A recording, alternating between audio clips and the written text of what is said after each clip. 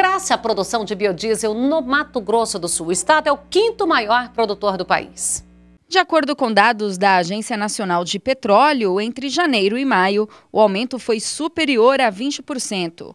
O volume processado esse ano já chegou a quase 90 milhões de litros. Apenas três usinas do estado estão produzindo biodiesel. O Rio Grande do Sul continua sendo quem mais produz biocombustível no Brasil. A produção total brasileira nos primeiros cinco meses de 2014 ultrapassou 1 bilhão e 200 milhões de litros. O aumento foi de quase 8% em relação ao mesmo período do ano passado. A partir desse mês, o governo federal autorizou o aumento de 5% para 6% da mistura do biodiesel no diesel.